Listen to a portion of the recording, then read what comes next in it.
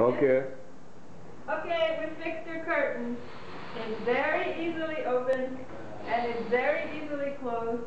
It can open just this part. It can open just this part. As you can tell, it's very smooth, open and closed. That's it. Yeah. So what was me doing? Going to open and close here. Oh, sure. Very good.